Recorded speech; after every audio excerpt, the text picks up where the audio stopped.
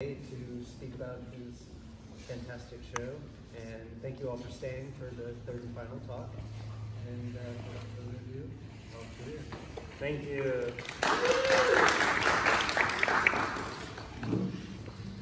Hi, I'm Alex Revier. What a year it's been. Uh, I started 2023 doing a Meow Wolf mur- mural at Meow Wolf Grapevine, and uh, at the end of it, I decided to. I'll go in order of the pieces. That might make the most sense. But for merchandising, I was going to make birdseed that would go with my mural, which is supposed to make the birds shit more. Uh, there's no laxative involved, but they are seeds, fiber, and they wouldn't sell them. So now I have a lot of these. it's part of the reason I made this exhibition the way it is. And I'm very grateful to have this exhibition, and I'm ready to paint a little bit looser, but we'll get there later. Um, as you can see, yes, huh?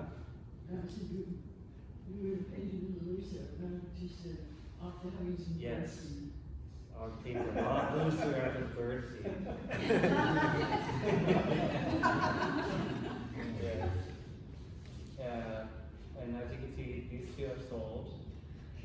And this painting I made because I was so frustrated that I had to work and um, my life work balance was just completely out of whack. And I hate working.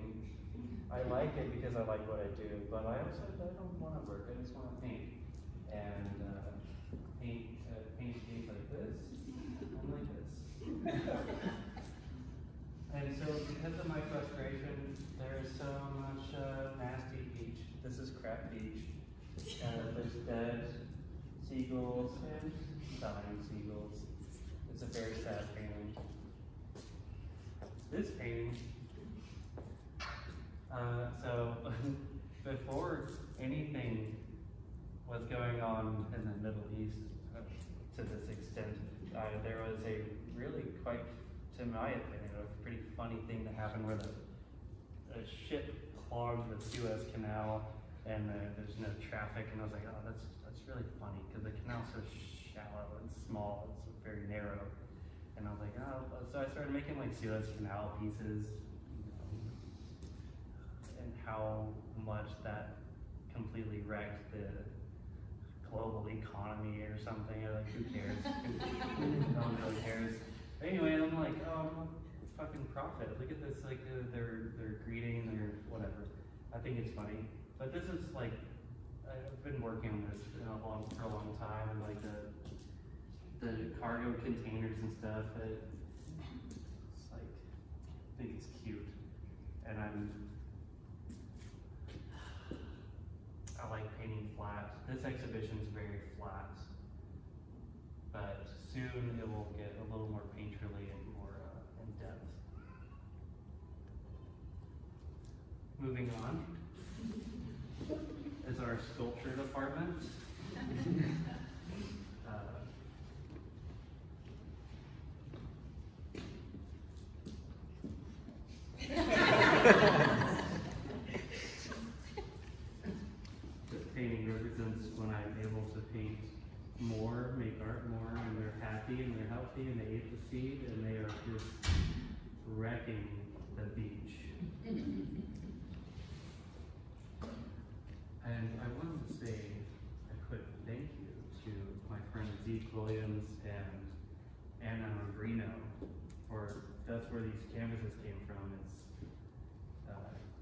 Magrino from Erin Cluley.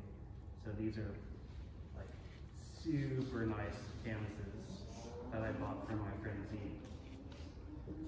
That's why they're so big and nice. This phone book painting is cut out of wood and I built it out and I like this and I think my next exhibition will be more cut out pieces like this. And finally, this frame, uh, Chris Worley Gallery gave me. And uh, it's loosely based on the game Chutes and Ladders, which originally was Snakes and Ladders, which I played as a kid.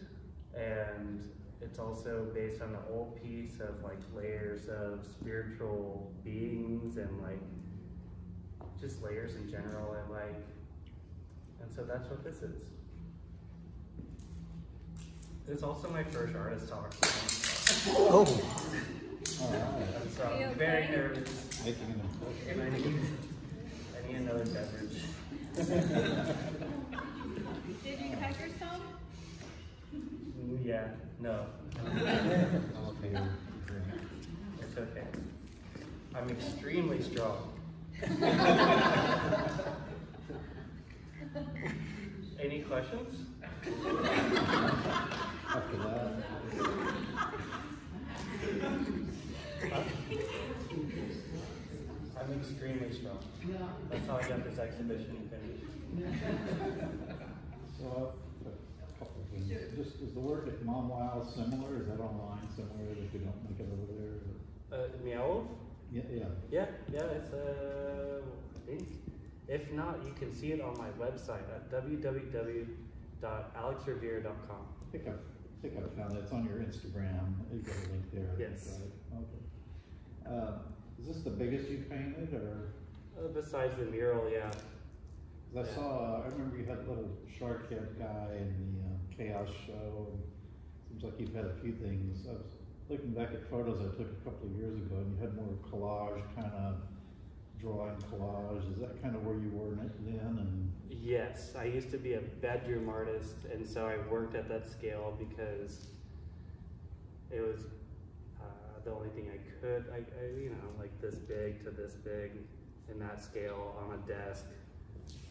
But uh, I recently got a studio across the street, and Ro2 got this huge new gallery, so it made sense to paint at a larger scale.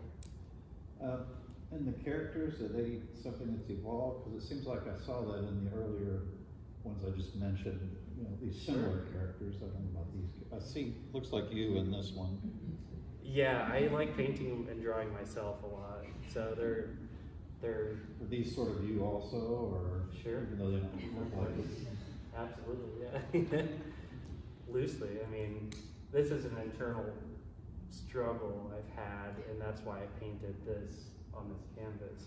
So they are about me, and I'm thinking about myself when I paint them. So kind of more of a private emotional, uh, crisis or something instead of struggle? Yeah, Nothing you want to share? just internal struggle. I guess nothing I want to share yet. Well, they're really lively and kind of crazy. I, I love the colors and the uh, figures and stuff. So, you know, more power to you, I guess. Thank you. Yeah. I like the, the very matte surface of the paint. And is that a particular paint you use? Yeah. That's, that is, most paints are glossy. And I wondered if you, except for gouache, it's not, it's gouache? No, No. it's all acrylic, but as it kind of depends. Like the background is cheaper acrylic. The foreground is uh, golden, super matte, and they're they're- they're too expensive. They're kind of exploiting uh, us as artists. But like you know, like I don't know, like an ounce of it is like ten dollars or something. Mm, so, but I really like how they function and how matte it is. Mm, I like that very Yeah. But I'm ready to get a little looser painterly. I want to uh, revisit uh, oils again. I, I'm curious why you say that, because this kind of stuff is so interesting, but you feel like you wanna do something with more blending and, and playing with the brush marks and things like that? There's still gonna be elements of this, but like I wanted to get a lot more painterly down here, and it was, you know, I was kind of working on everything at once, and I think uh, I want to revisit my oils again. I, I think some areas could be tighter, and some areas could be like super painterly. I want to find that balance because I've done it before, and I love it. This one in particular is kind of nice, it reminds me of like an illuminated manuscript or like, uh, art from India from seventeen, eighteen hundreds or something. Thank you. Mythological. Um, Can you expand more on what Crack Beach is?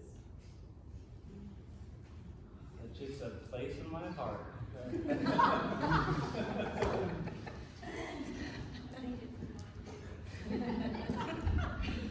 Good night. Hi, Brian. Two Brian's. Uh, So can you elaborate more on Crab Beach? oh gosh. Um,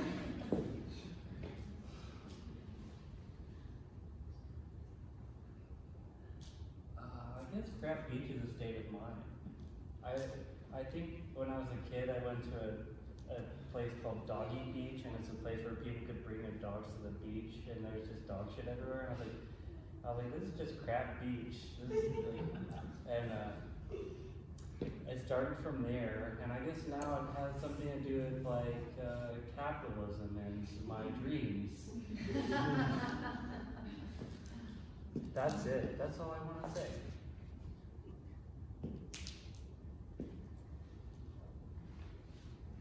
I, I, love your clouds, uh, repeated and diminishing formal, um, clouds. I think they're brilliant. Thank you. When you did that. It kind of reminded me of a big painting, Georgia O'Keeffe's that was at the Fort Worth, not Fort Worth, yeah, the museum, the, um, uh, Amon Carter. They had this huge painting her clouds, like, and I, I just wondered if you had happened to have ever seen that painting, or, I haven't seen it in person, but a friend of mine showed me a picture of it, and I was like, oh yeah. He, he said, this reminds me a lot of uh, this painting, so. yeah, I'd have seen it in person. Yeah, I love, I I love, immediately like resonated with that. yeah, Thank you. And it was, um, Art since you were a kid, or is that something you were interested in or driven by when you were young? or yeah. Yeah. Comic books or something, or something Um, else? I liked comic books, and then, um, not really. No, I didn't like comic books. I liked making comic books, but I didn't know the structure or anything. I just kind of like made drawings and comics, and then I was always good at art in school, so I pursued it, and I was like, I think I want to do this more, and it made me happy. And I think it was like a very, um, doing it got my mind off of uh, darker things. It kind of got me through some things, and so I kept doing it, and now here I am. And it probably still holds the same value for me. Like, I need to make art or I don't feel healthy. It's kind of something, um, I mean, that's kind of how you felt when you were a kid, just kind of carefree maybe, I'm looking at the images, I mean, and so you did comics and stuff of your own, I assume just kind of hand drawn and stapled together, or, Yeah, I think that's the goal to make it uh, otherworldly, or at least not from this one. This one is so boring, and uh, there's too many rules. And the, when I I want to make something uh, somewhere else, I think. you ever thought about having people animate them, or, or yourself animate them? Yeah. They look like they should be animated. Thanks. Yeah, they do. That's why I think I want to push it towards a little bit more painterly. Some aspects, some aspe- aspects be a little more painterly, so that they don't read as like animation cells. I don't think they do totally, but I'm like, especially to scale. But also, I'm like, That would be cool. I would love to animate them, but I'm, I don't think I'm gonna dive into that myself. Pretty time consuming. Yeah. These look like they took a little while, you know? I am interested in illustrating or re-illustrating a book, and I'm not gonna give any details yet, but you might see that in the future.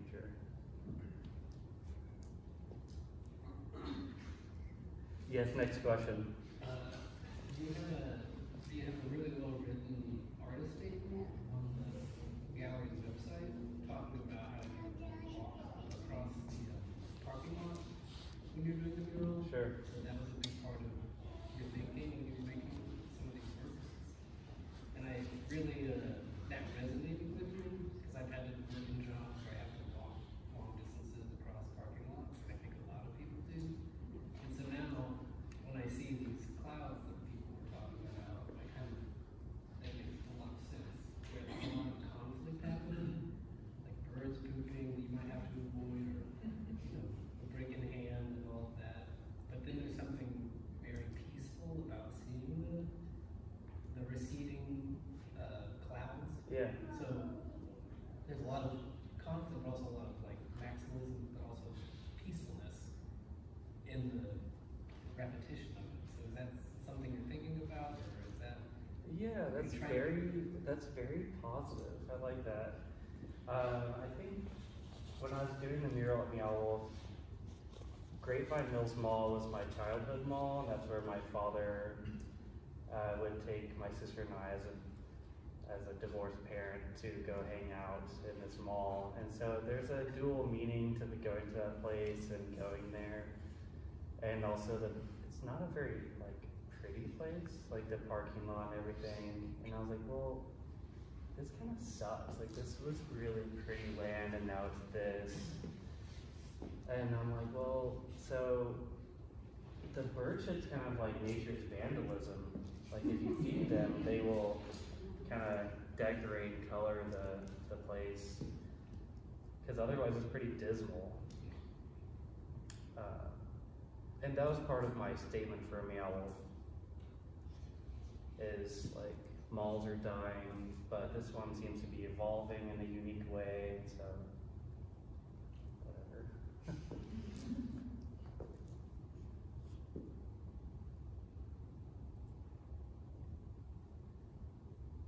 You're welcome to just talk about the imagery, it's pretty fun. Like- Thank you. Like this one over here, I see it looks like Olympic dancers, and- or uh, what do they call it, coordinated dancing, I think of the word. I guess it started, you mentioned the Suez Canal. Synchronized. Synchronized. Thank you. Yeah. Um, So it just sort of comes to your mind and you just do it, or? Yeah, my sister was a synchronized uh, swimmer.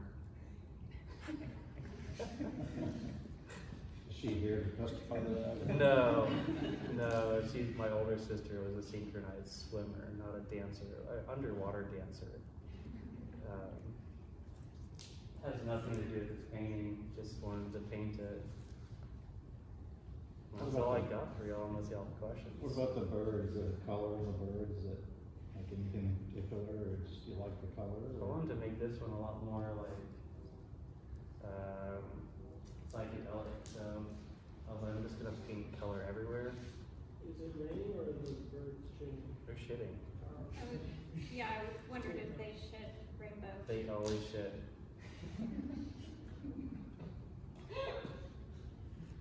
So it was like a more pleasant, like stream of color from it.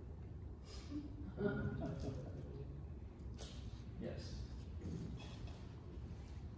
Enjoyable crap. I like the tiny cars and the rubber ducky and the little references to childhood toys at the beach. Thank you. Um, it just sort of adds another dimension to it somehow. Thank you. You know, you don't notice it right away, it just suddenly, oh, you're surprised. Thank you. Yeah, I probably shouldn't say but I wish I could have worked on these like a lot longer, just to like, because I'm a maximalist and I wanna add like so many little things. I wish I could have added like a thousand little weird things in there, like the same with every piece, but I'm glad there's a due date.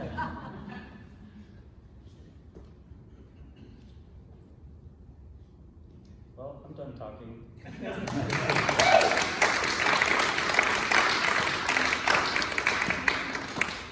Do you have a broom? That's plastic, by the way.